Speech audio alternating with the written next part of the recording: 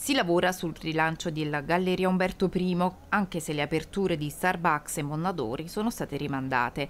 È arrivata infatti la firma del documento per la valorizzazione dell'ambito urbano, che comprende anche Piazza del Plebiscito.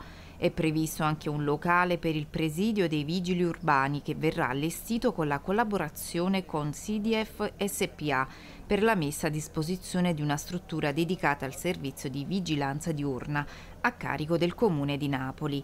I cantieri invece saranno allestiti entro fine mese. Per l'installazione dei cancelli notturni la tempistica prevista è la primavera.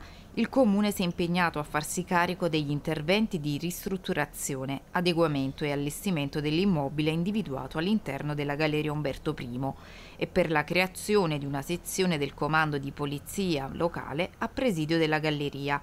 Per il rilancio della Umberto I è previsto il restyling dei pavimenti e lucernai, che sono di competenza pubblica e spettano quindi al Comune.